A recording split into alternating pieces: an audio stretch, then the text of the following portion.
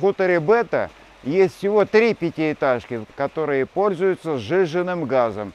Сетевого газа у нас нет. Провели газовые линии, а газа до сих пор нет. Полгода мы мучаемся, газгольдеры пустые, и кто их будет заполнять, и когда неизвестно. Все мои обращения в администрацию Геленджика, в администрацию Краснодарского края, Министерство топлива и энергетики никто никаких мер не принимал. И в результате Газгольдер пришел как будто бы на словах в негодное состояние. У нас электрические сети очень старые, сильно изношенные. И мы остаемся вообще без ничего. Утром встаешь, глотка горячей воды нету. В 3 часа ночи случилась поломка, отключение света. И мы с 3 часов ночи сидели без электричества. То есть батареи холодные, газа нет, электричества нет.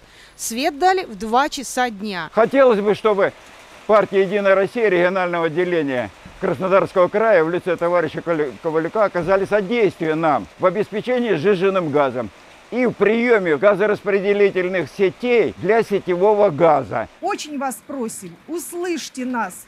Вы, наверное, уже последняя наша надежда. Думаем, что вы откликнетесь на нашу просьбу. Пожалуйста, помогите. Ну хорошо, если труба проложена уже, Она прессована. она опрессована, почему по ней нельзя пустить газ? Именно потому что запустить и сделать проектирование. А почему до сих Конечно. пор эта работа не А потому делается? что этих заданий не, выпол... не будет выдано, пока не будут запущены сети. То есть мы должны Сначала поставить сроки э, пуска в эксплуатацию, Да. опрессовка, если есть уже, да, то есть вся необходимая документация и И потом только проектирование, проектирование, уже подключение непосредственно, да? Ну, я думаю, что что это, ну, за там почти полгода это реальная задача вполне.